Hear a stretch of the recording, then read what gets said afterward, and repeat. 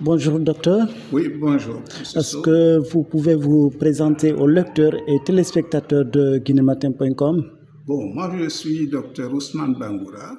Je suis médecin de formation et j'ai assumé différents postes de responsabilité. Et maintenant je suis à la retraite depuis quelques années et j'essaie de consacrer quelques moments à l'information euh, du public concernant les événements du passé que notre pays a eu à vivre. Dans cette euh, logique, bien entendu, nous sommes avec vous pour euh, parler des moments forts. Le 28 septembre 1958, la Guinée a voté non au référendum à travers lequel il a été demandé aux colonies françaises de voter oui ou non. Faites-nous revivre un tout petit peu ces moments forts. Dites-nous ce qui a été fait avant le 28 pour qu'on en arrive là. Bon, d'abord, je partage votre sentiment que la jeunesse guinéenne a besoin d'être bien informée sur le passé, a besoin d'être formée également et de connaître euh, les événements du passé, de connaître les défis auxquels les anciens, les aînés ont été confrontés, parce que il est maintenant de son devoir de reprendre le flambeau. Et pour bien mener la lutte à terme, il faut qu'elle sache ce qui s'est passé. Et que donc, euh, comme le présent est instruit par le passé, c'est très important que ce passé soit connu. Et en fonction de cette connaissance du passé et des événements que nous vivons actuellement, nous pourrons construire un futur meilleur pour notre pays et pour sa population. Donc je partage pleinement votre souci d'information et de formation de la jeunesse. Une jeunesse bien éduquée, c'est réellement l'avenir du pays qui se met en place. Et un avenir euh, qui soit bon et qui ne soit pas ce que nous vivons depuis quelque temps aussi dans notre pays, en Afrique et aussi dans le monde. Parce qu'un peu partout, la jeunesse se pose des questions, et notamment la jeunesse africaine. Elle se pose des questions dans la mesure où elle ne connaît pas son histoire. Elle ne connaît pas l'histoire de nos pays, et même beaucoup de dirigeants. La plupart des dirigeants actuels, pas seulement en Guinée, ignorent l'histoire de l'Afrique, ignorent les combats qui ont été menés. C'est là l'origine de quelques difficultés que ces dirigeants ressentent à mettre en place des stratégies appropriées pour promouvoir le développement, pour promouvoir le bien-être économique et social de la population. Donc, la connaissance historique est très importante. Et vous savez aussi que euh, au début de la Deuxième République, les mesures qui ont été prises euh, ont tendu à arrêter les cours d'histoire contemporaine de la Guinée. Donc depuis 85, depuis 84, notre jeunesse a été sevrée de l'histoire nationale, de l'histoire contemporaine. Elle ne connaît pas. Euh, à l'époque, on a pensé que c'est l'ancien régime qui avait tendu à déformer cette histoire de manière à se mettre en valeur. Mais la réalité était tout autre L'ancien régime n'a pas écrit l'histoire parce qu'elle faisait l'histoire. L'histoire qui, a été, qui était enseignée sous l'ancien régime était la plupart du temps l'histoire coloniale et l'histoire précoloniale. Mais ce n'était pas l'histoire post-coloniale. Voilà, et donc l'histoire post-coloniale, on ne la connaît pas bien. Et même l'histoire coloniale et précoloniale, euh, comme on a enseigné depuis 85, porte davantage sur la perception que l'extérieur avait de cette histoire, mais pas du vécu des Africains, du vécu des Guinéens. Parce qu'il y a quand même deux façons de voir l'histoire. Il y a la façon des dominants des colonisateurs, leur manière de voir l'histoire, et il y a l'histoire de euh, la façon de dominer, des exploiter que nous étions, même si l'histoire que nous avons euh, vécue est une histoire qui pourrait être une histoire commune, euh, au moins pour la partie de la colonisation et du post-colonial, même si cette histoire donc peut être considérée comme commune, nous ne l'avons pas vécue avec le même statut de part et d'autre. Et en particulier, la France n'a pas vécu l'histoire africaine qu'elle a contribué aussi à écrire, de la même manière que nous autres, euh, qui étions des colonies et des post-colonies. Notre statut n'était pas le même, euh, notre vécu n'était pas le même, et donc nous ne pouvons pas écrire cette histoire de la même manière. D'ailleurs, dans tous les pays où la tentative d'écriture de l'histoire a été faite, ce sont les nationaux qui ont écrit l'histoire. L'écriture de l'histoire est un élément de souveraineté nationale. Ce n'est pas à la France de venir écrire l'histoire de la Guinée. C'est aux Guinéens d'écrire leur histoire. Donc, c'est un appel aux élites guinéennes de s'attacher à écrire l'histoire. Le moment est opportun, mais il ne faut pas compter sur l'extérieur pour écrire l'histoire de la Guinée. Il ne faut même pas compter sur les archives étrangères pour écrire l'histoire de la Guinée. Je pense qu'il y a suffisamment de matière aujourd'hui dans notre pays pour que nous-mêmes nous écrivions notre histoire à l'intention de notre population et singulièrement à l'intention de notre jeunesse. Parlons justement euh, de, cette histoire euh, contemporaine euh, que vous avez d'ailleurs vécue en partie. Ce qui concerne le référendum au terme duquel on est arrivé le 28 septembre, est-ce que vous pouvez nous expliquer un tout petit peu comment est-ce que ce référendum a été préparé en Guinée? Voilà. Bon, avant de vous dire comment le référendum a été préparé en Guinée, il faut savoir d'abord que le référendum du 28 septembre a été l'aboutissement d'un processus. Et ce processus, on peut euh, le situer, en tout cas son début, à la fin de la Deuxième Guerre mondiale. cette date, les colonies avaient contribué à la libération de l'ancienne métropole, la France, avaient contribué au nouvel ordre politique qui s'est instauré après la Deuxième Guerre mondiale. Et à la fin de cette guerre, l'ancienne métropole, reconnaissant quelque peu les sacrifices que les colonisés avaient euh, consentis, avait décidé euh, d'assouplir certaines règles de la colonisation et de donner aux colonisés certains droits qu'ils refusaient depuis euh, la fin du 19e siècle, depuis l'envahissement euh, colonial. Et parmi ces droits, c'était les droits démocratiques, le droit de vote en particulier. C'était aussi euh, le droit d'association. On a créé des syndicats, on a créé des partis politiques à l'issue de ça.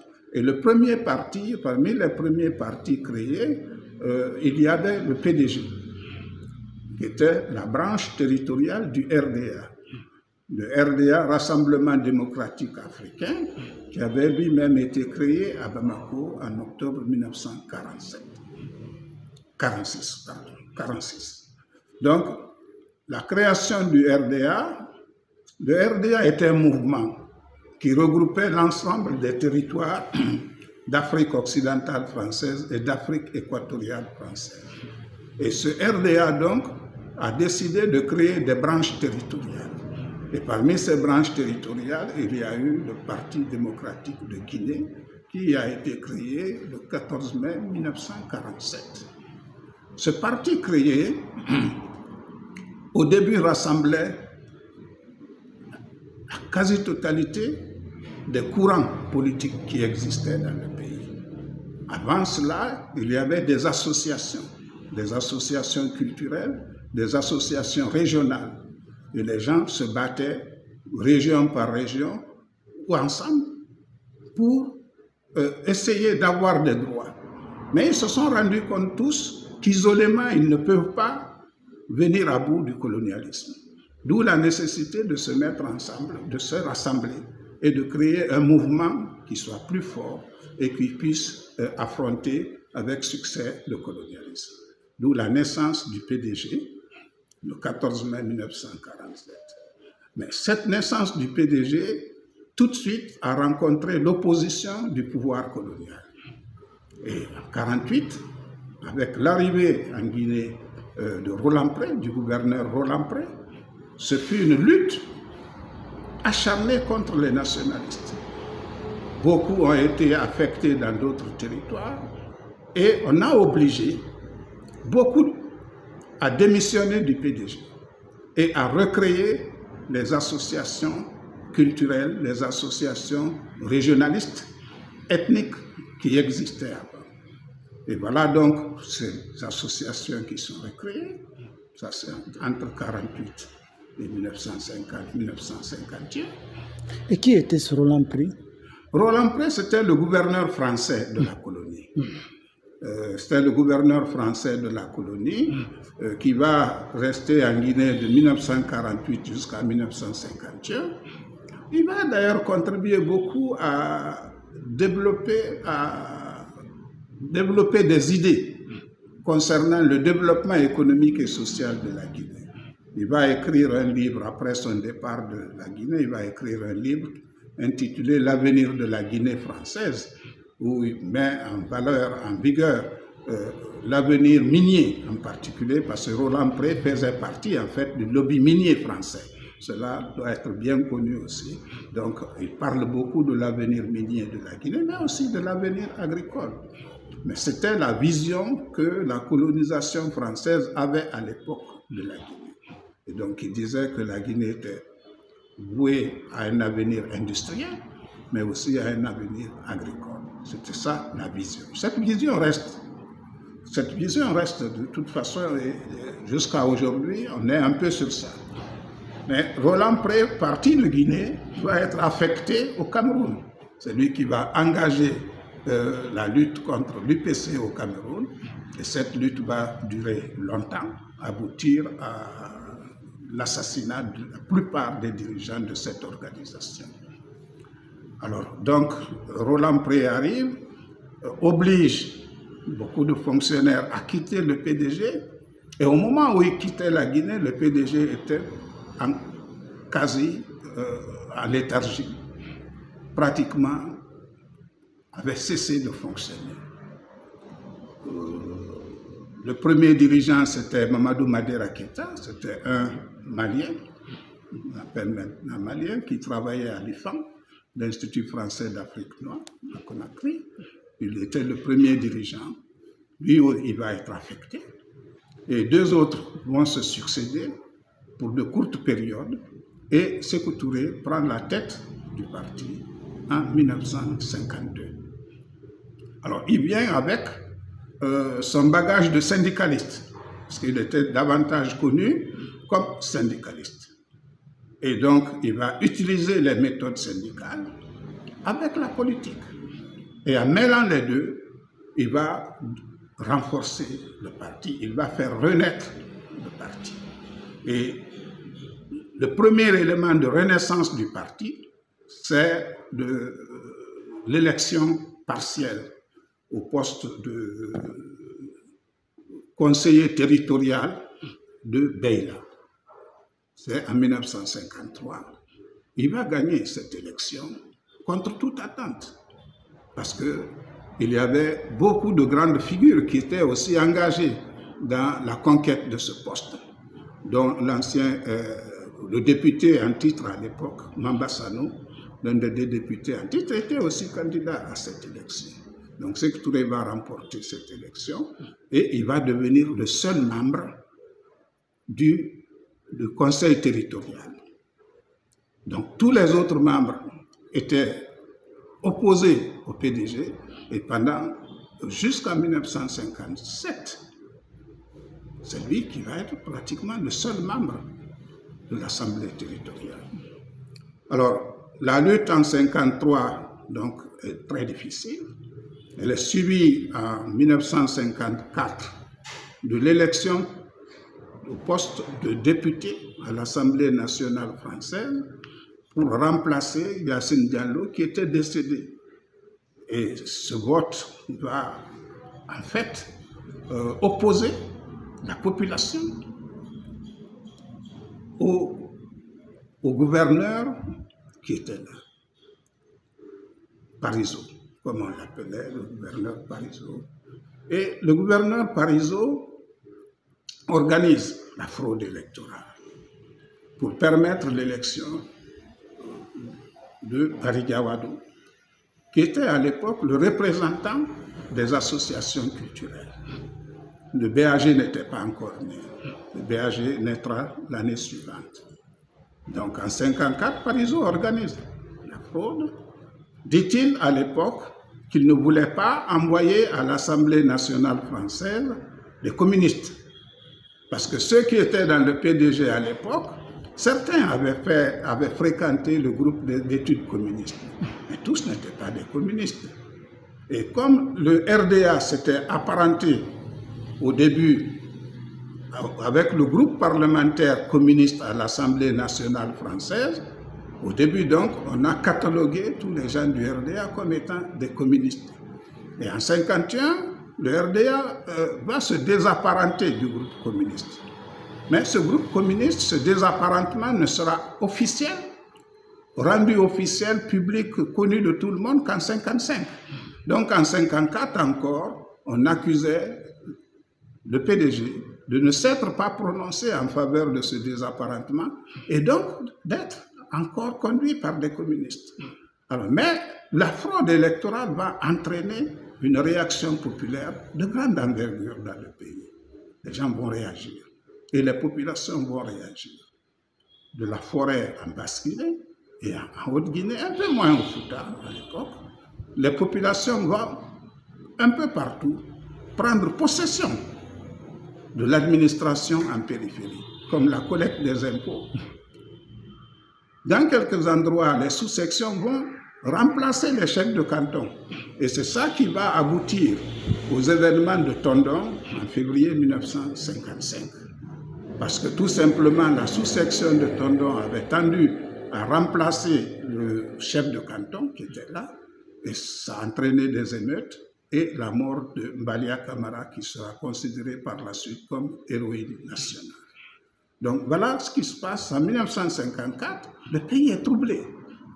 Un peu partout, les populations se révoltent en périphérie.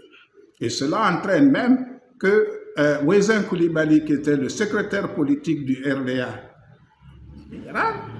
viendra en Guinée pour essayer de calmer l'atmosphère. Il ira en Guinée forestière, en Basse-Guinée, un peu partout pour essayer de calmer l'atmosphère. Et donc, au mois de 1955, le comité de coordination du RDA se réunit à Conakry. Et pourquoi Conakry? Parce que tout simplement, Sékou Touré avait pris de l'envergure, non seulement au sein du RDA, mais surtout sur le plan euh, syndical. Surtout sur le plan syndical. Et il voudrait que la section guinéenne du RDA approuve le désapparentement du Parti communiste, mais aussi que Sékou Touré engage le désapparentement des syndicats guinéens de la CGT, le syndicat français, dans lequel ils étaient tous affiliés, qui était d'obédience communiste. donc à partir de 1955, ce travail va être fait, mais en même temps, le PDG va s'inscrire dans la direction du développement industriel de la Guinée. Donc, ce que Roland Pré avait prédit sur le plan industriel et qui devrait se réaliser, le PDG s'est engagé dans cette loi. Et voilà donc la création des premières industries minières, la compagnie minière de Conakry en 1955, euh, les bauxites des îles de l'Os à Kassa, ainsi de suite. Et les projets nouveaux miniers, comme celui de Bokeh, comme celui de Fria, vont se mettre en place à partir de cette période. Alors donc, la lutte va continuer et encore une fois, les moments de vote, les périodes électorales vont être l'occasion de renforcer euh, le parti, mais en même temps de renforcer la lutte anticoloniale. après 54 élections partielles pour le remplacement de Yassine Diallo, il y aura en 56, en janvier 56, cette fois, l'élection des députés, parce que le mandat était arrivé à terme, l'élection des députés pour l'Assemblée nationale. Et à cette élection de députés pour l'Assemblée nationale, le PDG qui avait trois candidats va faire élire deux. C'est et Seyfoulaye Diallo. Euh, le troisième, c'était euh, Lansana. Euh, mais étant donné que c'était la proportionnelle qui était utilisée, euh, Barry Diawadou va être le troisième député de la Guinée. Donc à côté de Sekou Touré et de Sefla, il y aura Barry Diawadou qui était le représentant du BAG à l'époque, parce que le BAG était entre-temps né. À partir de 1955 et tous les mouvements populaires en faveur du PDG vont amener ceux qui étaient dans l'opposition à s'organiser. Et c'est cette organisation qui va aboutir à la création du BAG. Et le deuxième parti d'opposition qui va être créé après le BAG, c'est la démocratie socialiste de Guinée. Cette démocratie socialiste de Guinée avait plutôt des racines extérieures, puisque c'était une branche euh, du Parti socialiste français et, qui était représentée en Afrique de l'Ouest par le député Lamine du Sénégal. Donc c'est ce mouvement socialiste qu'on va appeler MSA, Mouvement socialiste africain, et donc la démocratie socialiste de Guinée sera la branche du mouvement socialiste africain. Et ces deux partis naissent effectivement au début de 1955 et à la fin de 1955. Donc il y aura de nouveaux votes. Par exemple, les votes pour l'élection des maires, l'élection de on va créer des communes de plein exercice et des communes de moyen exercice. Les communes de plein exercice, euh, la direction de la commune va être donnée à un maire africain. Il y en aura six, Kindia, Conakry, Kindia, Kankan, Zérekore, Mamou. Et à la tête de toutes ces communes de plein exercice, c'est un membre du PDG qui va être élu. Et il y aura je pense, entre 14 communes de moyen exercice et pratiquement sur 12 sur les 14 de moyen exercice. Là, c'est le vice, l'adjoint au commandant de cercle comprend? Et à ce niveau-là, c'est les représentants du PDG qui rappellent encore là. Et les cercles qui sont aujourd'hui euh, des préfectures Les préfectures, aujourd'hui. Les cercles qui sont aujourd'hui les préfectures. Donc, cette élection est remportée encore par le PDG, une victoire écrasante, une majorité écrasante. Et par la suite, euh, la France va décider de changer euh, les institutions euh, au niveau de ces colonies d'Afrique subsaharienne. Il y a ce qu'on appelle la loi cadre. Toujours, c'était c'était sous le contrôle du pouvoir français. Tout à fait. Nous sommes en 56 en 1956, euh, la France décide, euh, sous la poussée, sous la pression internationale, sous la pression locale, d'appliquer enfin les promesses qu'elle avait prises en 1946, donc dix ans après. On s'aperçoit que ces promesses n'ont pas été tenues. Mais la France est aussi acculée par le contexte international. Elle avait perdu la bataille euh, en Indochine, la guerre d'Indochine. Donc, l'Indochine est devenue indépendante en 1954. Début 1954, l'Algérie est entrée aussi dans la guerre de libération. 1955, 56, euh, la Tunisie était devenue indépendante. Le Maroc aussi est devenu indépendant en 1956. Toujours l'année 1956, euh, la France, l'Angleterre et Israël ont essuyé une défaite de la guerre de Suez avec euh, le président Gamal Abdel Nasser d'Égypte, un grand nationaliste arabe et africain. Donc, après avoir essuyé toutes ces séries de défaites, euh, 57, début 57, le Ghana va devenir le premier État indépendant d'Afrique subsaharienne. Il est vrai qu'il y avait eu le Soudan anglo-égyptien avant, mais c'est l'indépendance du Ghana qui est vraiment un point primordial pour la décolonisation en Afrique subsaharienne. Et la Guinée viendra s'ajouter à ça et accélérer le mouvement. Mais à cette date donc, la France est acculée. Elle se pose des questions sur l'avenir de l'empire colonial. Il ne faut pas perdre les colonies d'Afrique subsaharienne. Donc pour pouvoir les garder, il faut consentir des réformes. Mais en même temps, elle était aussi acculée par les élites africaines. Parce que jusqu'au début des années 50... Qui prenaient de plus en plus conscience de... Non seulement qui prenaient conscience, mais dont le nombre augmentait. Le nombre augmentait et ils aspiraient à assumer les fonctions de responsabilité au niveau des différents territoires. Et donc la France va dire, ok, nous allons passer une partie du pouvoir aux élites locales.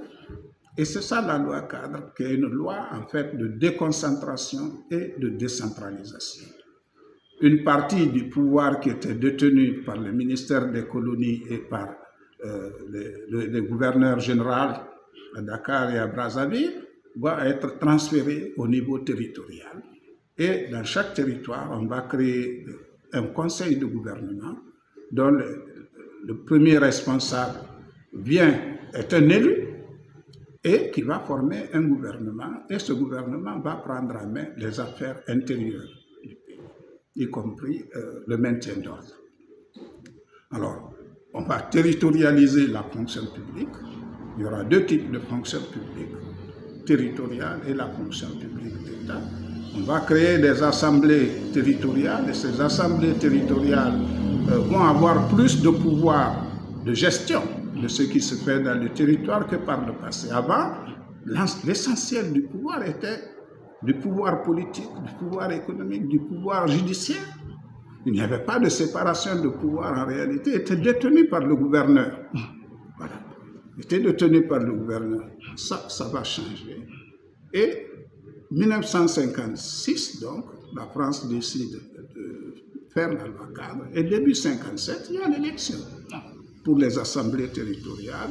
Et sur les 60 sièges de l'assemblée territoriale en Guinée, 57 sont remportés, 56 par le PDG et un 57e par quelqu'un qui va s'apparenter au groupe du PDG.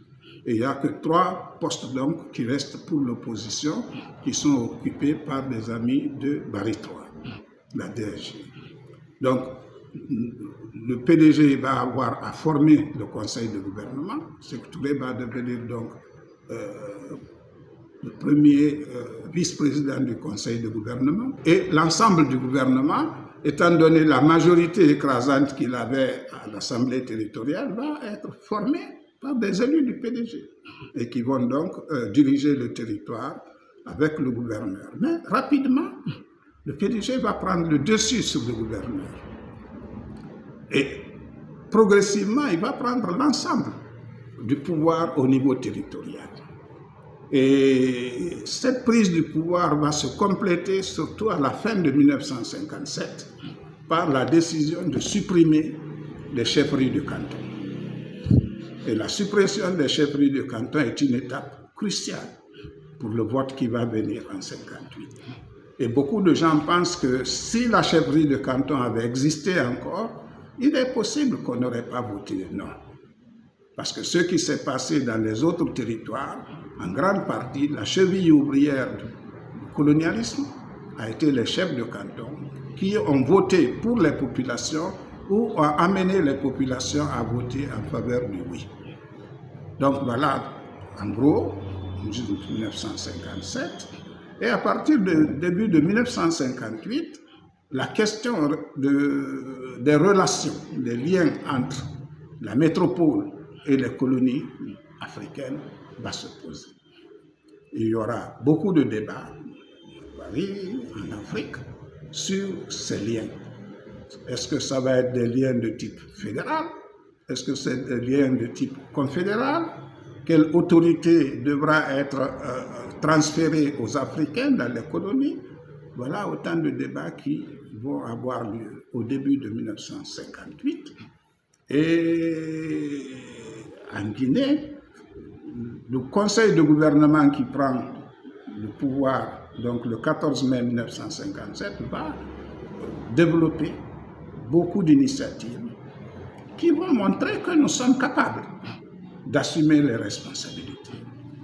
Et Sékou Touré va passer l'essentiel du temps en Guinée, contrairement à beaucoup de ses collègues, puisqu'il était aussi député à l'Assemblée nationale française, qui passe beaucoup plus de temps à Paris que dans les territoires dont ils ont l'administration. Le siège de cette assemblée se situait à Dakar ou Non, il y avait deux types d'assemblées. Il y avait euh, l'assemblée territoriale, qui est à Conakry. L'assemblée territoriale siégeait là où se trouve actuellement la HAC, la autorité de la communication. Et il y avait au niveau euh, des deux fédérations de l'Afrique occidentale française et de l'AIF, l'Afrique équatoriale, il y avait ce qu'on appelait les grands conseils. Et les grands conseils étaient à côté du gouverneur général, en fait, qu'on appelait désormais le haut commissaire de la République, qui était à côté donc du haut commissaire. C'était Dakar et Brazzaville. Alors, donc début 58, débat sur euh, les liens entre les colonies d'Afrique et la métropole. Et maintenant, euh, en 1900, donc euh, au mois de en mai 1958, il y a des événements qui se passent en France. Parce que la guerre d'Algérie, en fait, a un effet corrosif sur les institutions françaises, a un effet corrosif sur les finances de la France, mais aussi détériore considérablement l'image de la France à l'extérieur, détériore les relations entre la France et ses alliés au sein du marché commun européen, mais aussi avec les États-Unis. Donc, il y a réellement une nécessité de réexaminer la situation. Et étant donné les troubles qui se déroulent en juin, euh, non, en mai, le 13 mai, des généraux français à Alger tentent de faire un coup d'État. Un coup d'État militaire. Quatre généraux. Et cela crée des, crée des problèmes en France. Et en retour, le gouvernement qui était là et le président, décide de faire appel au général de Gaulle. Le général de Gaulle, qui avait démissionné du gouvernement provisoire en fin 1945, était pratiquement à, la marge. Mais on estime encore de nouveau qu'il est l'homme qu'il faut pour redresser la France. Et donc le général de Gaulle est désigné président du conseil de gouvernement de la France en mai 1958. Et De Gaulle vient avec un projet qui est de mettre en place une nouvelle constitution. Cette nouvelle constitution euh, est destinée en fait à redorer l'image de la France, à assurer aux institutions politiques françaises la stabilité qu'elle avait perdue. Elle aussi à remettre en place les finances de la France. Et en même temps, le général de Gaulle envisage de mettre en place de nouveaux liens avec les colonies d'Afrique subsaharienne. Mais son objectif, c'est surtout vers l'Algérie. Il voudrait calmer la situation en Afrique subsaharienne garder l'Afrique subsaharienne parmi les colonies, ne plus perdre cette partie du monde, mais aussi lui permettre d'affronter le Front de libération nationale d'Algérie avec succès. C'était ça son objectif. Alors il décide donc de d'écrire une nouvelle constitution. Mais il décide aussi que les territoires, euh, les colonies, les, colonies qu'on appelait désormais les territoires doivent voter cette constitution. Et il prend ce vote comme un vote d'autodétermination. Si vous dites oui, vous restez avec la France. Si vous dites non, vous quittez la France. non-sécession, oui, c'est pour rester dans ce qu'il va appeler ou dans ce qu'il appelle la communauté franco-africaine.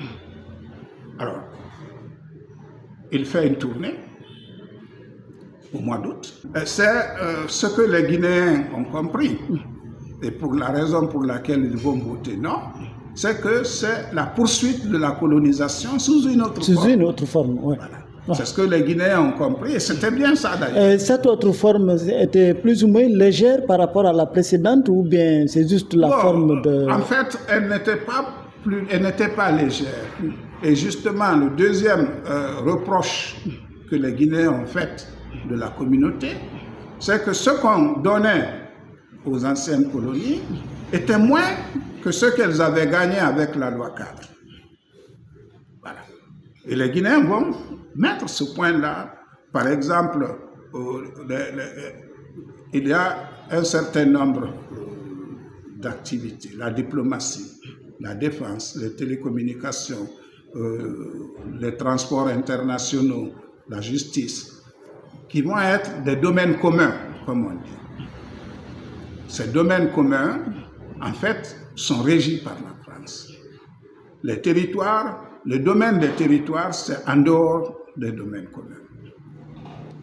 Alors, mais quand vous regardez ces domaines communs, certains étaient déjà exécutés par les territoires. Donc les Guinéens ont dit, ah, la communauté est un recul par rapport à la loi cadre, on ne peut pas l'accepter, mais mieux, c'est une vieille marchandise sous un nouvel emballage qu'on voudrait nous vendre. Et nous ne pouvons pas l'accepter. Et nous disons donc qu'il faut que la France révise ce projet de constitution. Il faut que dans le nouveau projet, qu'elle indique clairement, si nous nous associons à elle, qu'il y ait aussi le droit au divorce, que nous ayons le droit de quitter. Et qu'en quittant, que cela n'entraîne pas une nouvelle guerre et que cela n'entraîne pas de conséquences euh, désavantageuses, fâcheuses pour nous. C'était ça l'idée du droit à l'indépendance. Mais ce droit à l'indépendance, pourquoi on n'a pas dit directement indépendance? Le contexte était tel que euh, De Gaulle arrivait à Conakry, on s'adresse à lui, on n'a pas dit directement droit à l'indépendance. Mais le contenu du discours indiquait clairement que c'était une revendication d'indépendance. Ça, c'était bien avant. Ça, c'est le 25 août 1958. De Gaulle, donc, euh, au, mois d'août, va décider de faire une tournée en Afrique pour vendre son, projet. de constitution aux populations. Il pense que avec sa stature, avec son passé, il va pouvoir convaincre les populations d'y adhérer. Au début, la Guinée n'était pas prévue comme escale dans cette tournée. C'était les chefs-lieux des deux grandes fédérations, AOF et AF, donc Dakar et Brazzaville. C'était Tananarive, qu'on appelle maintenant Antananarivo à Madagascar. C'était Abidjan, mais Abidjan, c'était davantage pour faire plaisir à Oufouette-Boigny, parce que Oufouette-Boigny avait été non seulement un des rédacteurs de la loi cadre, mais il était aussi un des concepteurs de l'idée de communauté franco-africaine. Alors, escale d'Abidjan, alors on introduit l'escale de Conakry. On introduit l'escale de Conakry, pour certains c'était pour flatter l'ego de Sékou Touré. Pour d'autres, en fait, c'est tenir compte du fait qu'à l'intérieur du RDA, Oufoué tenait la branche droitière du parti. Mais la branche gauchisante du parti, c'était Sékou Touré et Modibo Keïta. Et au congrès de Bamako en 1957, octobre 1957, le troisième congrès interterritorial, Sékou Touré avait été élu premier vice-président du RDR. Donc, il fallait tenir compte de cela. Et à plusieurs reprises, il avait critiqué ce qui se préparait, les liens qu'on tentait d'installer entre la France et les, ses Les nouveaux liens. Les nouveaux liens qu'on tentait d'installer, il avait été critique. Il avait critiqué le fait, par exemple, qu'il euh, y ait des liens fédéraux direct entre les colonies et la métropole. Avait-il eu à, émettre ouvertement euh, des observations sur ces points Il a émis beaucoup d'observations sur, sur ces liens. Il a émis les observations durant euh, le congrès, le troisième congrès du PDG qui a eu lieu en janvier 58. Il avait émis aussi durant la conférence euh, des cadres du PDG qui avait eu lieu en juillet.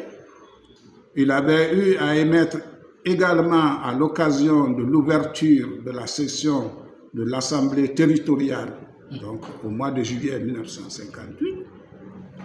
Et il avait émis devant le général de Gaulle lui-même, parce que quand les partis politiques africains se sont réunis pour donner euh, leur opinion au général de Gaulle sur ces liens, c'est lui qu'on va désigner comme porte-parole.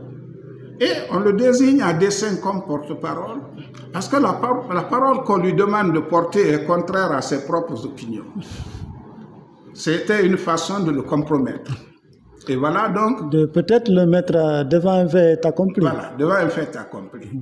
Bon, il va transmettre la parole de la majorité. Mais il se réserve le droit de continuer son propre chemin, ses propres idées. Et donc, il transmet cette parole au général de Gaulle, qui était plus ou moins favorable à la communauté.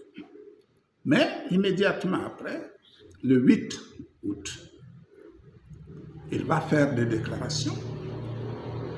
Quand le général de Gaulle va s'adresser au comité constitutionnel euh, qu'il avait créé, il viendra exprimer son opinion sur ces liens entre la France et ses, et colonies.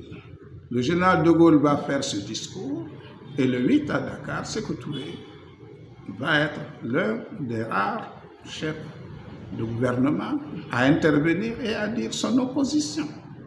Et c'est même à partir de là que l'idée d'inscrire Conakry sur la liste va aussi commencer à naître. Euh, va naître et va se renforcer. L'idée de base de Roland Pré, euh, de Bernard Cornu-Gentil, qui était le ministre de la France d'Outre-mer, le ministère de l'économie, c'était qu'en faisant venir le général de Gaulle à Conakry, comme cela avait été fait en 55, on va amener Sékou Touré à accepter l'idée de la communauté C'était l'idée, toujours. Voilà, c'était ça. C'était une forme de corruption morale. Mm. Allons-y, en flattant son ego, donc, cela va flatter son ego et il va accepter au sein du gouvernement français, il y aura des disputes, certains ne sont pas d'accord, donc Pierre Mesmer qui était le haut commissaire à Dakar. Mais après, la discussion qu'il y a eu surtout, c'était sur le trajet. Certains, euh, au début, ils avaient dit que ça commençait par Dakar et Conakry. Alors, c'est là où Foucault, Jacques Foucault, qui était le conseiller technique du général de Gaulle à l'époque, va dire non. Voilà deux territoires où la possibilité du non est très forte, où on pourrait rencontrer des difficultés. Si on commence par ces deux, ça va être très difficile pour la suite. Donc, il commence par Tananarive, Brazzaville, Abidjan, Conakry et Dakar. L'accueil à, Conakry est formidable. Et De Gaulle lui-même l'avouera il aura été accueilli à Conakry mieux que partout durant son trajet. Mais arrivé à Conakry, il y a des échanges. Le discours la question. Le discours de Seyfoula Diallo, président euh, de l'Assemblée territoriale, le discours de Sékou Touré, et puis la réponse du général de Gaulle. Le discours de Seyfoula Diallo, c'est plus qu'un discours de bienvenue. Il demande au général de Gaulle, on est content que vous soyez là. Ce qu'on voudrait, c'est que vous nous précisiez les choses. Ce qui doit être précisé, euh, votre présence va permettre de le faire. Et deuxième élément qu'il dit, vous avez devant vous des patriotes. Vous êtes vous-même un patriote français. Vous venez auréolé de gloire, mais vous trouvez devant vous des patriotes africains. Donc les sentiments que vous avez pour la France, sachez aussi que ces Africains-là ont les mêmes sentiments pour l'Afrique. Ça, c'est l'entrée en matière de Diallo. Il y a maintenant le discours de Touré. Le discours de Touré, certains ont dit non, il ne demande que le droit à l'indépendance. Ce n'est pas l'indépendance qu'il demande. En fait, non. Le discours de Touré, c'est, il parle du droit à l'indépendance, mais c'est une revendication d'indépendance, à vrai dire. C'est un discours orienté contre la colonisation. C'est une dénonciation de la colonisation et une revendication d'indépendance. Même pas de dire seulement qu'ils ont l'intention, ils, ont besoin. Parce qu'à l'époque, à l'époque, il faut être aussi un peu clair là-dessus. Le type d'indépendance que Sékou Touré voulait, c'était un peu le modèle d'indépendance que le Ghana avait acquise en 1957. Parce que le Ghana avait acquis l'indépendance, mais tout en restant membre du Commonwealth. Le Commonwealth, c'était une organisation qui regroupait la Grande-Bretagne avec ses anciennes colonies de tous les continents. Et le chef d'État du Ghana, en 57, de 57 jusqu'à 1960, c'est la reine d'Angleterre. Nkrumah était Premier ministre.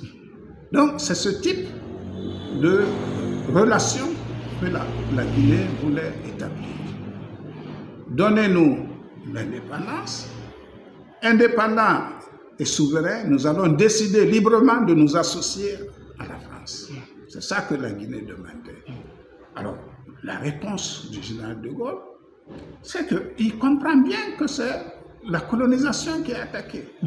Et ses premiers mots, c'est de dire que la France n'avait pas à rougir de l'œuvre qu'elle avait accomplie en Guinée.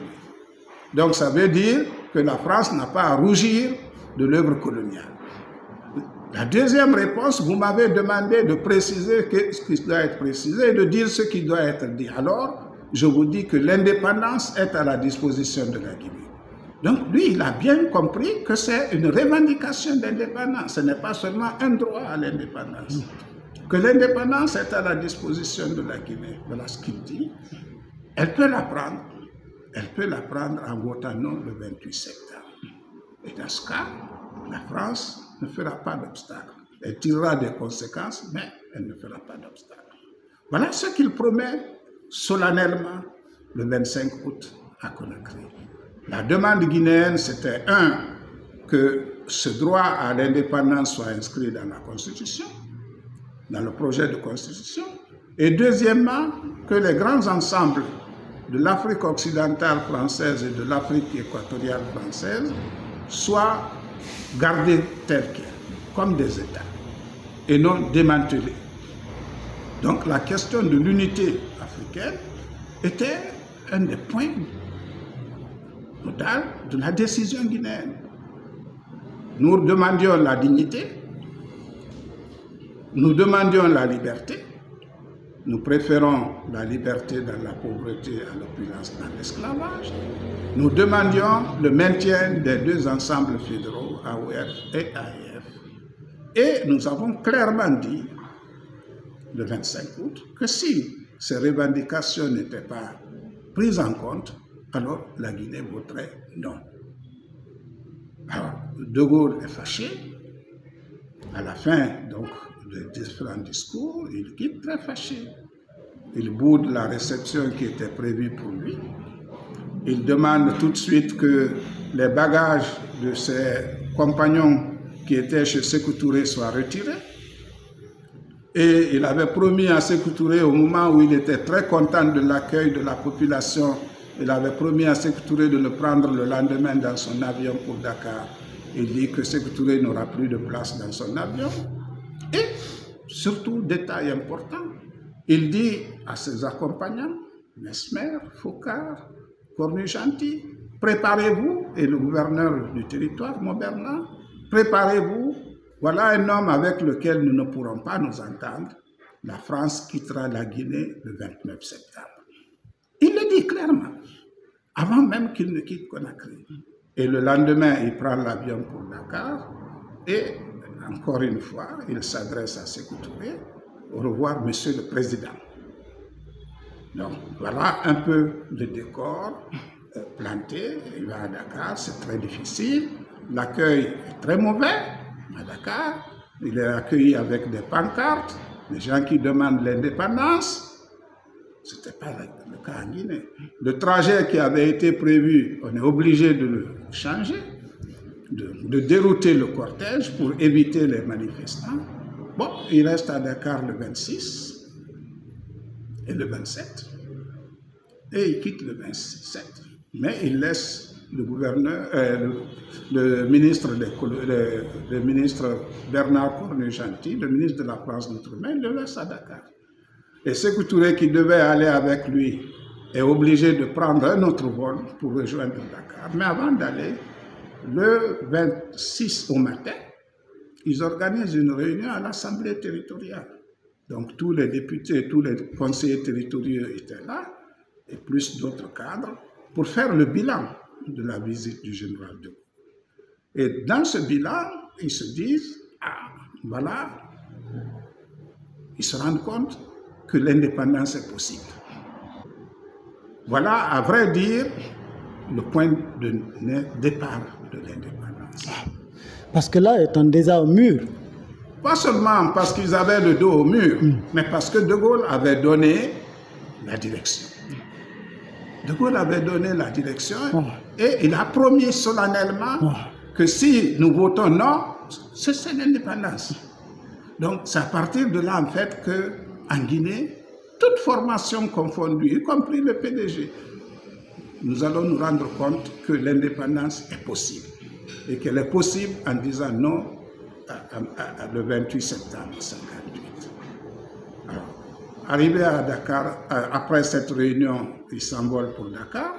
Arrivé à Dakar, ils ont des entretiens avec Cornu Gentil dans la soirée du 27, très difficile, mais Sékou Touré ne démarre pas. Il reste sur sa position. Et là-bas, ils vont prendre contact avec d'autres qui prennent le nom, dont les syndicats, les étudiants, les organisations de jeunesse. Et après ça, il fait une déclaration le 28 sur Radio Dakar où il dit que vraiment les Africains doivent prendre l'indépendance. Et c'est de là qu'il rentre à Conakry. Et arrivé à Conakry, c'est une réunion au cinéma Box côté du marché du Niger actuellement. C'est une réunion d'information où il indique à la population les enjeux du référendum à venir. Et il donne la position de la Guinée, comme il l'avait affirmé devant le général de Gaulle, que si nos revendications ne sont pas acceptées, alors nous voterons non. Et deux jours plus tard, le 1er septembre, il s'adresse encore une fois à la Chambre de commerce. À la Chambre de commerce, un discours très long, plus de deux heures la Chambre de commerce, où il analyse l'évolution des territoires d'Afrique euh, subsaharienne, des anciennes colonies, des colonies françaises, euh, les mesures qui ont été prises, mais aussi des mesures qui n'ont pas été appliquées la plupart du temps. Donc, d'où l'idée qu'il est difficile de faire confiance au pouvoir colonial. Est-ce que cette fois-ci, elle n'est pas encore en train de nous tromper? Donc, et ensuite, il critique le projet de référendum. Il critique l'idée du référendum, le fait que les Africains doivent participer à un référendum sur la constitution de la France. Il critique cette idée, il critique aussi l'idée de la communauté franco-africaine et il donne son sentiment et c'est là où réellement la question de l'indépendance ghanéenne comme modèle apparaît réellement. Alors, après ça, le 4 septembre, le projet de constitution qui va être soumis au référendum est publié.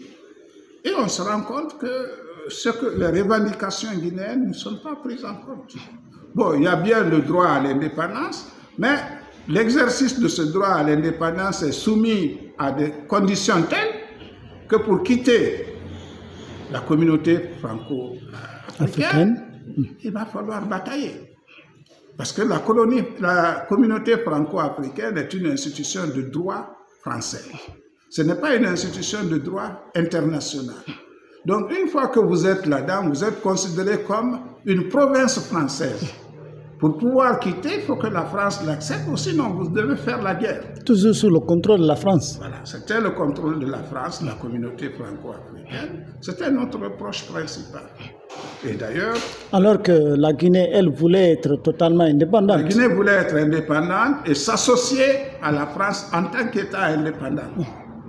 Nous voulions l'association avec la France. C'est la France qui va refuser l'association.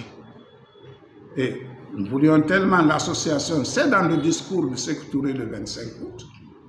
Et quelques jours en septembre avant le référendum, le, le gouvernement, le conseil de gouvernement va demander au gouverneur de demander à Paris les conditions, parce qu'il y avait un article, l'article 88, qui parlait d'association. Mais cet article n'était pas prévu pour les colonies d'Afrique subsaharienne. Il était prévu pour l'Indochine, pour le Maroc et la Tunisie, mais il n'était pas prévu pour nous.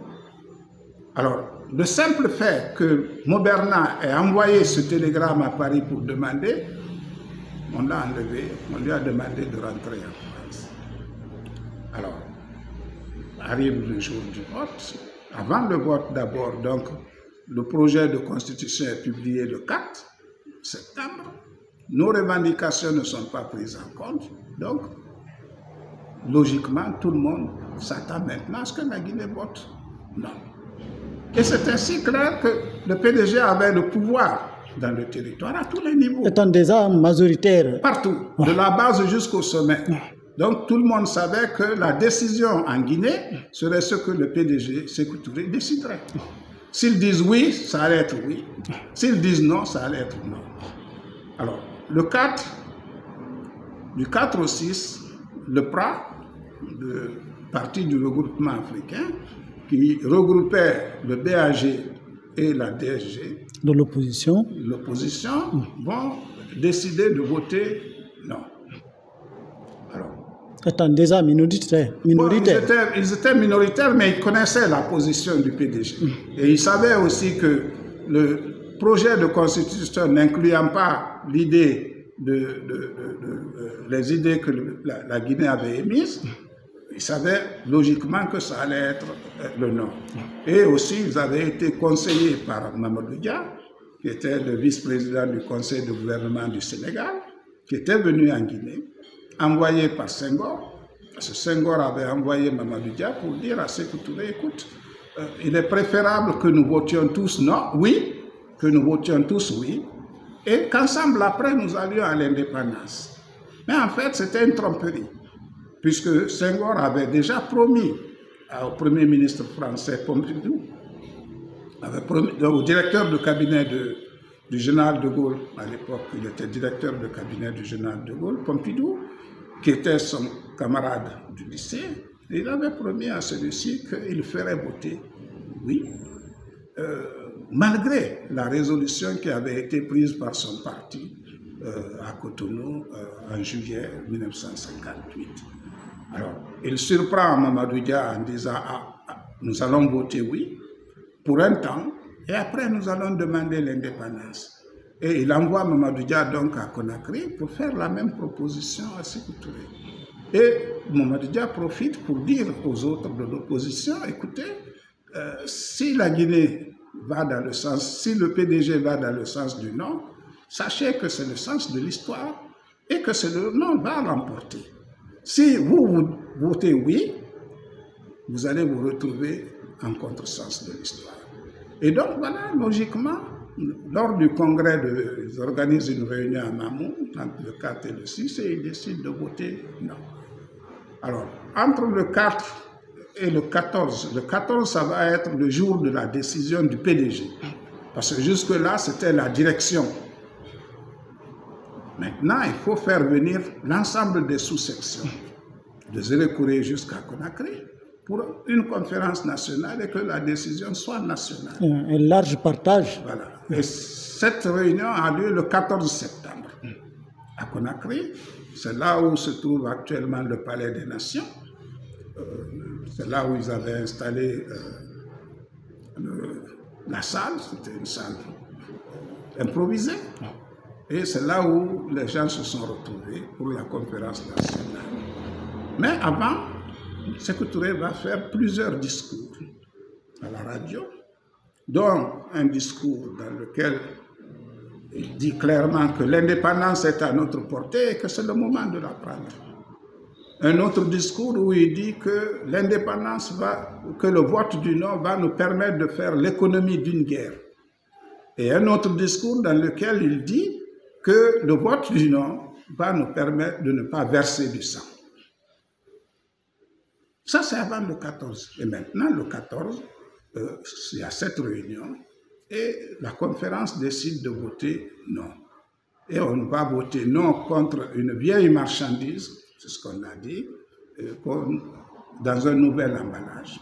Et vieille marchandise dans un nouvel emballage, on ne l'avait pas. Et donc la décision est prise. Et voilà, euh, il n'y a pas eu de campagne à vrai dire. Mais après le 14, l'opposition va avoir une réunion avec la direction du PDG. Ça va être le 17, 16 et le 17, on va appeler cela euh, la réunion de l'hôtel de ville. Ils vont se réunir, c'est Touré était le maire, donc la réunion va se faire à l'hôtel de ville. C'est le bâtiment qui est en face du bâtiment de la HAC. C'est là où il y avait la primature dans le passé. Donc, la réunion a lieu là. Et tout le monde décide de conjuguer les efforts pour le triomphe du Nord. Alors, la campagne électorale, les partis politiques n'ont pas reçu de ressources du gouvernement français. Donc, chacun devait financer sa campagne. Le PRA n'avait pas de ressources. Bon, il n'avait pas de militants. L'effectif des militants avait beaucoup baissé. oui et ils n'avaient pas de ressources. Donc c'est le PDG qui va leur donner les moyens, logistiques en particulier, pour faire la campagne. Et principalement, le PRA va faire la campagne au Fouta. Dans les autres endroits du pays, c'est les comités de base et les sous-sections qui vont faire la campagne. Mais la direction du parti elle-même ne sort pas en campagne. Voilà donc entre le 14 et le 28, voilà ce qui se passe. Et le 28, le jour du vote, bon, la France avait échappé beaucoup, beaucoup de scénarios euh, pour désorganiser le pays, pour amener à faire voter oui. Mais ils se sont rendus compte, au bout du compte, que toutes les mesures seraient ineffectives.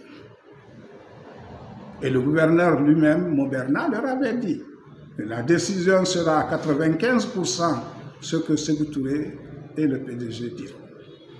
Alors, on a critiqué le gouverneur en disant qu'il était faible, mais c'était le réalisme. Il, savait déjà la réalité qui prévalait sur le terrain. il connaissait bien. Donc, la France avait échafaudé des scénarios pour faire échec au non. Un peu partout. Et pour faire voter oui. Il y a eu beaucoup de corruption, par exemple. Corruption des élites.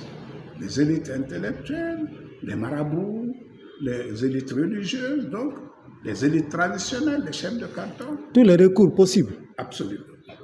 Tous les recours possibles. Et ça va marcher dans tous les autres territoires. Ça va même marcher au Niger, où le chef du territoire, Dibo Bakari, était un fervent partisan du Nord. Mais Djibo était dans une situation qui était différente de ce que Touré. Sa majorité était relative. Il avait contre lui le RDA. Et le représentant du RDA au Niger, c'était Amani Diori. Et c'était lui, le représentant de Oufoué, qui voulait vraiment que tout le monde vote oui. Et Oufoué va financer la campagne au Niger de Amani Diori. Et la France va envoyer un nouveau gouverneur au Niger qui va changer complètement les données du problème du Niger. On va retourner les chefs de canton et Djibo Bakari va perdre sa majorité à l'Assemblée territoriale et donc sa place de vice-président du Conseil de gouvernement. Et voilà donc au Niger, finalement, il y aura un vote non, mais qui ne sera pas majoritaire. Et le oui sera majoritaire. C'est en Guinée seulement, sur les 13 territoires considérés, que le oui, le non va l'emporter. Non va l'emporter à une majorité écrasante. À combien de pourcents 95%. Les 5% restants, ça faisait à peu près 55 000 votes. Et ces 55 000 votes étaient répartis. Il y avait 50 000 au Fouta et dans les autres régions, les 5 000 autres. Mais la, le, euh, le lieu où le plus grand nombre de oui sera, ce sera la région de la Voilà. Le jour du vote, les soldats français sortent à Conakry, vont dans les marchés, essayent de créer le trouble. Mais entre-temps, la population avait été avertie. On avait dit à tout le monde, si on vous provoque, ne répondez pas. Si on vous donne l'argent, prenez, mais allez voter non. Si on vous provoque, ne répondez pas. Et les populations n'ont pas répondu. Les femmes sur les marchés n'ont pas répondu. Et donc le vote s'est passé dans le calme. C'est passé réellement très bien passé. Un peu partout sur l'ensemble du territoire national. Le jour du vote, la France organise un hold-up. Le hold-up, c'est le franc CFA des devises qui sont à la banque, la succursale donc de la BAO qui était à Conakry, siège de la Banque centrale actuelle, ils vont venir prendre l'argent dans les cadeaux de la banque, en prévision. Il va organiser une opération commando, donc des militaires qui vont venir de Dakar, qui vont aller défoncer le caveau de la banque, prendre les caisses d'argent et les mettre sur un navire militaire français qui était accosté au port. Ça, c'est pendant que les populations guinéennes étaient attelées à bosser. Ça se passe dans la journée du 28. Alors voilà donc la Guinée indépendante. Le 29, comme De Gaulle avait dit, préparez-vous le 29, la France partira de la Guinée. La Guinée n'est pas indispensable à la France. Et le 29, le 28 déjà, il y avait... préparé Tout était préparé. C'était un gouverneur qui était inspecteur de la France d'outre-mer, euh, Risterichi, que la France va envoyer à Conakry pour liquider la présence française. Risterichi arrive et le 29 au matin, il organise une conférence. Et au cours de cette conférence, il lit un document qui prend acte du vote fait la veille. Donc le nom qui avait triomphé la veille, la France prend acte de ce vote et dit donc que la constitution ne sera pas promulguée en Guinée, dit que la Guinée ne fait plus partie de l'ensemble français, mais aussi euh, énonce un certain nombre de mesures de rétorsion qui sont destinées à empêcher la viabilité du nouvel État guinéen. Puisque euh, le premier projet a échoué, il faut envisager une autre, un autre bon, moyen. Puisqu'on n'a pas pu empêcher le nom, maintenant que le nom est là, que la Guinée est indépendante, on décide de retirer toute l'administration française. Au point que le Au nouvel... bout de deux mois, il fallait que toute l'administration française s'en aille. Et ensuite, on va retirer les médicaments de la pharmacie centrale. On va retirer euh, tout ce qu'il y avait comme armement au niveau des militaires et des policiers guinéens, y compris les uniformes. On va dépouiller les bureaux de tout ce qu'il y avait comme archives, de tout le contenu. On va les mettre sur des bateaux en partance pour Dakar et la, et la France.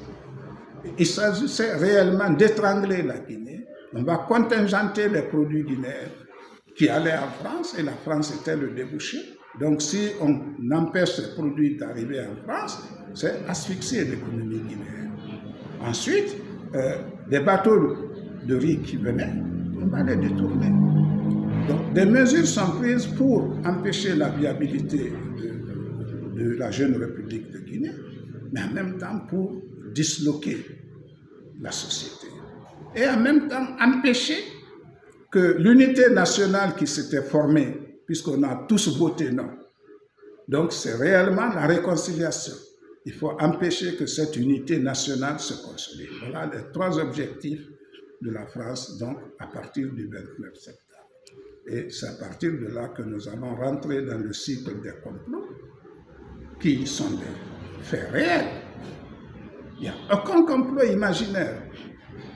Si vous, examinez très bien les choses, aucun complot n'était imaginaire. il y avait la main occulte toujours, derrière. Toujours. Direct ou indirect. Et je dis, j'insiste là-dessus, que ce qui se passait, qu'on a qualifié de complot sous Sékou a continué durant toute la Deuxième République. Et continue aujourd'hui encore.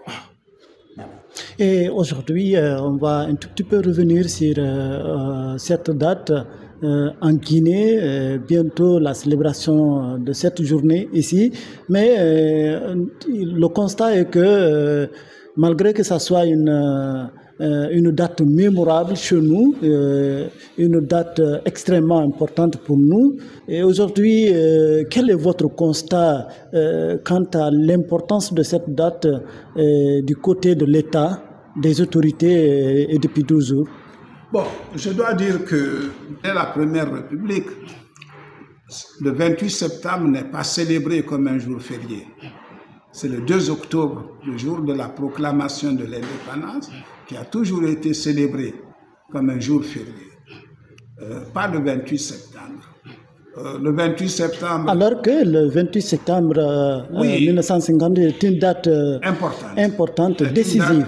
décisive. C'est une date importante, c'est une date décisive. Qui a engendré même le 2 octobre. Voilà, qui a engendré le 2 octobre. Mais déjà, depuis la Première République, c'est le 2 octobre qui était férié, ah. pas le 28 septembre. On s'est attaqué aux effets, oubliant la cause. Bon. Maintenant, euh, il y a eu à partir de... Bon, ça c'est récent. Il y a eu à partir de 2007-2008, euh, bon, un peu avant, déjà depuis 84, il y a ce qu'on appelle la guerre des mémoires.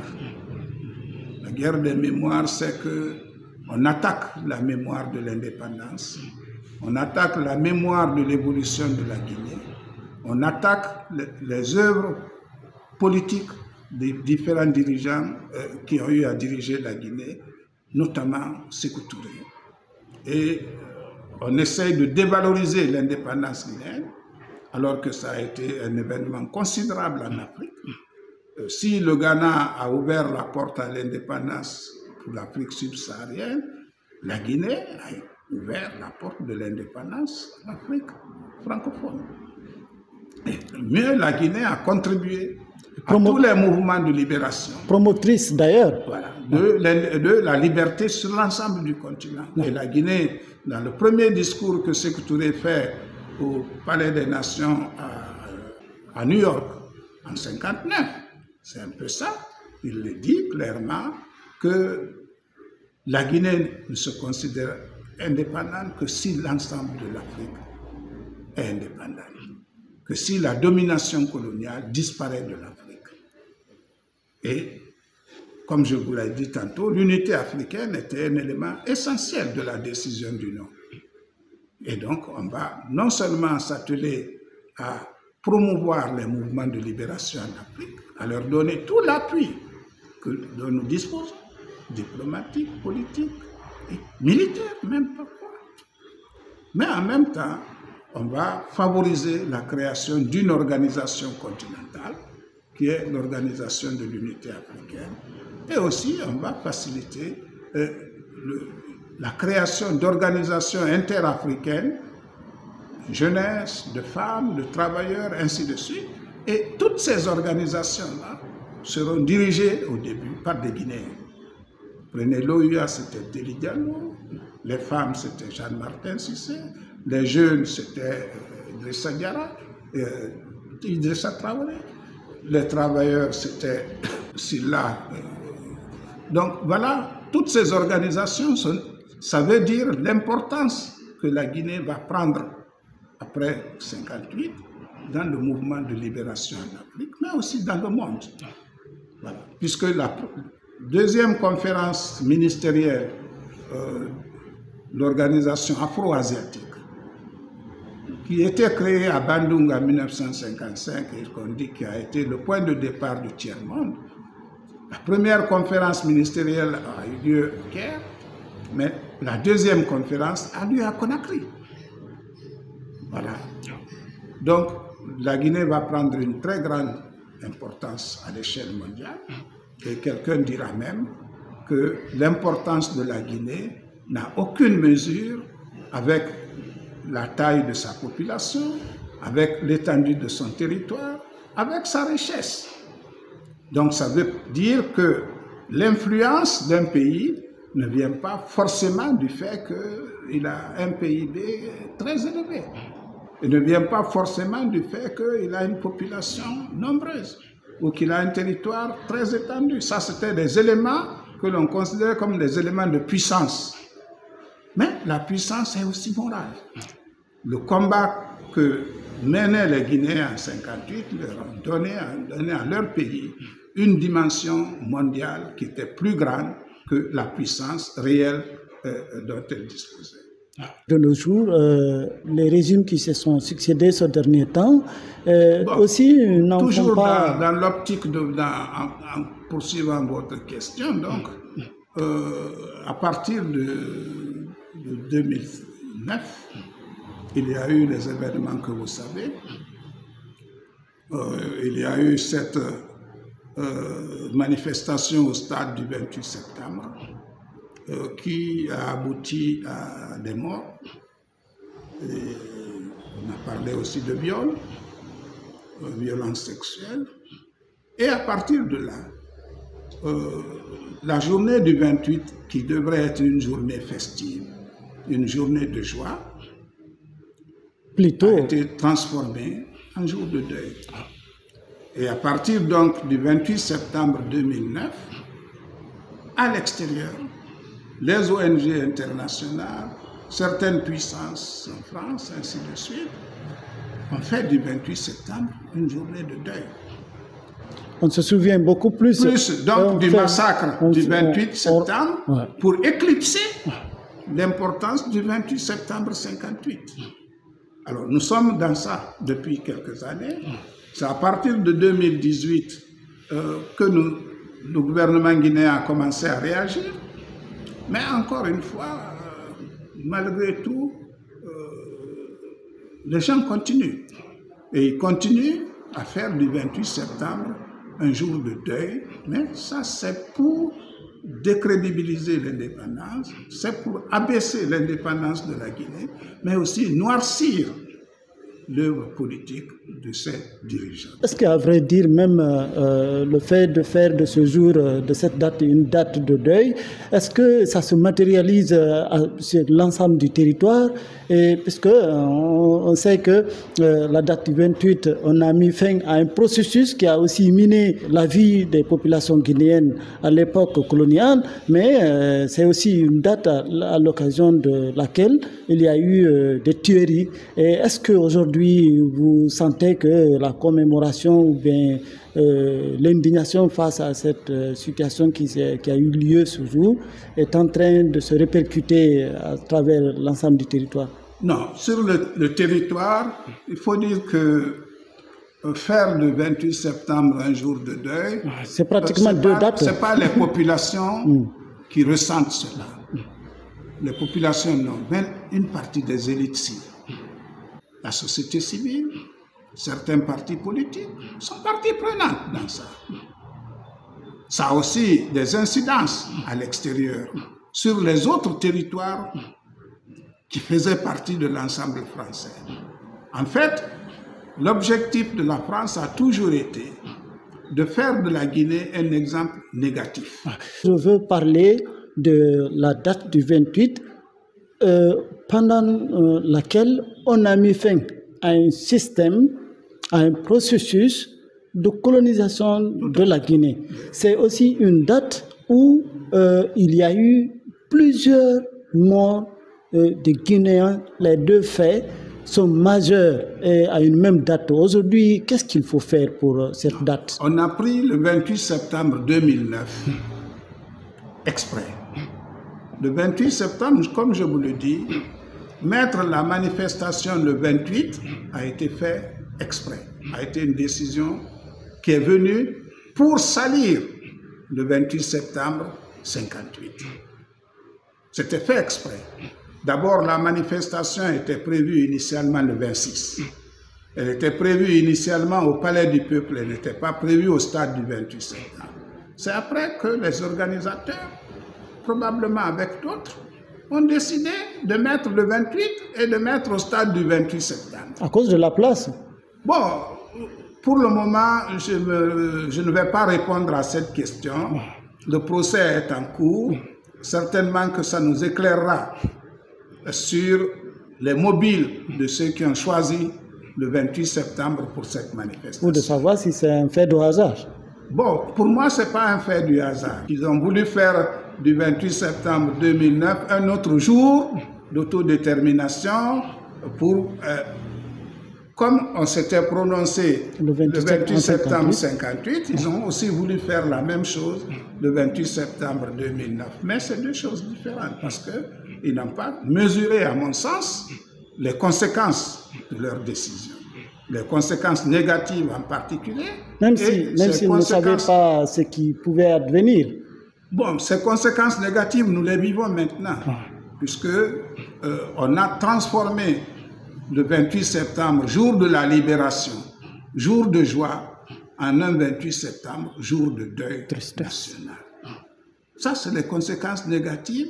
Et le 28 septembre est un élément de l'identité nationale guinéenne. Et donc, en mettant la manifestation le 28 septembre 2009, on s'attaquait réellement à l'identité nationale guinéenne. Ça, ils ne l'ont pas mesuré. Ceux qui ont la manifestation ne l'ont pas mesuré et nous vivons cet élément maintenant. De toute façon, le changement, c'est nous. C'est l'importance que nous donnerons au 28, ce que nos gouvernements donneront au 28 septembre, c'est cette importance qui prévaudra. Et au 2 octobre. Donc à partir de 2018, on a bien célébré le 28 septembre, a quelque peu changé en 2018.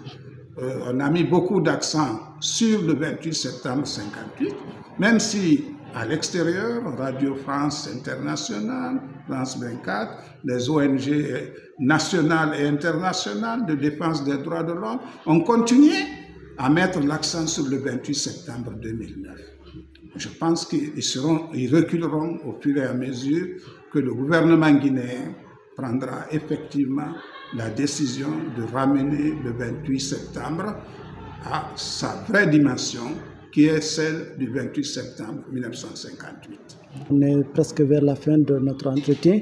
Et qu'est-ce que vous euh, recommandez? Quel conseil avez-vous à donner par rapport à ces deux euh, événements qui ont eu lieu à la même date? Bon, pour moi, euh, je l'ai souvent soutenu. Tant à l'endroit des autorités qu'à l'endroit des populations. Ce que j'ai souvent soutenu, les Guinéens doivent célébrer avec faste la période du 28 septembre à la période au 2 octobre. Cette période doit être pour les Guinéens des jours de fête. J'ai même préconisé que les classes ouvrent avant le 28 septembre et que les enfants, les jeunes des écoles participent à la célébration de cette période. C'est une période de formation politique, c'est aussi une période de formation morale et d'instruction civique de la jeunesse. D'ailleurs, on aurait intitulé cette période, ou la date du 28 septembre, euh, la fête de la jeunesse. Comment comprenez-vous euh, donc, nous devons de- mettre l'accent sur cette période, qui est la période de notre libération, qui est la période du le point de départ de la nation guinéenne, de l'État guinéen, et les jeunes doivent s'approprier de ce que leurs aînés ont fait. D'où l'idée de célébrer avec faste, d'où l'idée d'inclure particulièrement la jeunesse dans ces célébrations, et ce qu'on ne fait pas maintenant.